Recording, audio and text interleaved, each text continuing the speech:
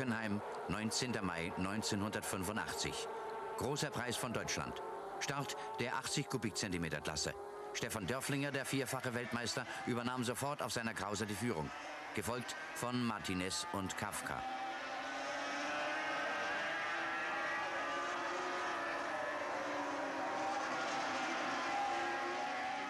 Der Schweizer Stefan Dörflinger fuhr einem sicheren Sieg entgegen. An zweiter Stelle der Schorndorfer Gerhard Weibel, gefolgt von dem Engländer Jan McConacci auf einer Krauser.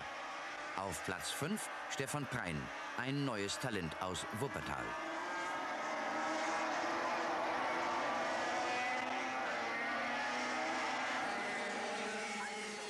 Nach elf Runden, also 74 Kilometern, lautete die Zieldurchfahrt Stefan Dörflinger, Gerhard Weibel und auf Platz 3 Gerd Kafka aus Österreich.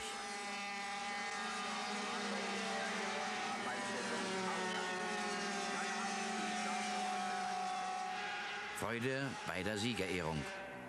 Dörflinger übernahm mit 27 Punkten die Führung in der WM-Wertung.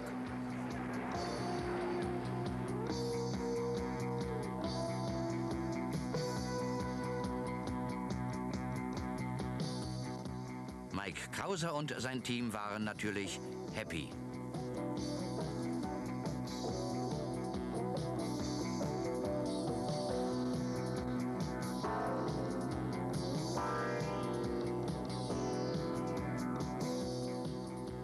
26. Mai in Mugello.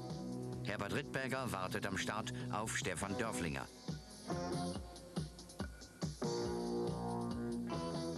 Die Spanier Martinez und Herreros mit ihren schnellen Derbys waren für das Krauser-Team die größte Konkurrenz.